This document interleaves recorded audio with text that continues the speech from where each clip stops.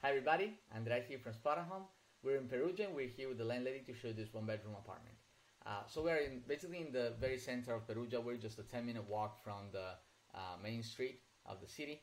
Uh, as you can see, this building still has ancient medieval walls, the original ones, uh, and that keeps the apartment uh, warm during the winter and cool during the summer, which is very nice. Also, it's situated uh, in the university area. It's very close, about two, three minute walk from the uh, university for foreign people. So there is very convenient in the city. Now here we see you have to go up this small stairs to get to the apartment itself. And as soon as you arrive, you are in the living area and kitchen. Here you can see you have the dining table that can be extended to host up to six people if you need. Uh, then we have the kitchen just next to it. Comes fully equipped. You'll see cups, you have pans, pots, uh, plates, everything you need.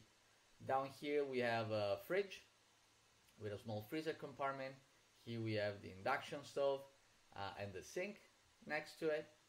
So you really have everything you need. Also, uh, maybe you saw it at the beginning, there was a small coffee machine. Right here, then next to it there is a small, uh, there's some shelf to keep all your uh, supplies and your, your food. Next to the kitchen we have this couch that's also a single sofa bed if you need it. And in the corner you can find the heating unit that's also a air conditioning unit. There's one in every room and you can control it from uh, the thermostat panel. Right here you can control the temperature of the apartment. Then we have a window in the living area that has a great view. But here we have the, the bedroom. So as you can see here we have a double bed. And here is the view that I was talking about. This is from the living room. Uh, it looks on this um, common garden. It's an open garden that you can actually go in if you just cross this pedestrian street. And there's a nice medieval tower just in front of it. It's a pretty unique view. Uh, it's uh, very beautiful. Then we go back to the bedroom. And in the bedroom, as I was saying, we have a double bed right here. Uh, we have a window that looks on a private courtyard from another building.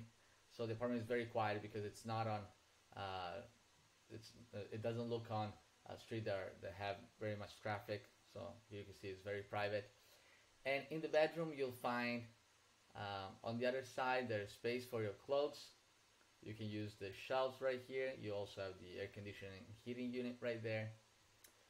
And you have a lot of space underneath the bed. You can raise the mattress and there's uh, space for you to use. Then outside the bedroom, we have the bathroom. Right here. As you can see, we have the sink with the mirror. Then we have the shower box next to it. And on the other side, obviously, we have the toilet that has a small shower that you can use instead of the bidet. Uh, and and that's it. This is the this is the apartment. So I hope you liked it, and I hope you will enjoy your time in uh, in Perugia. Bye.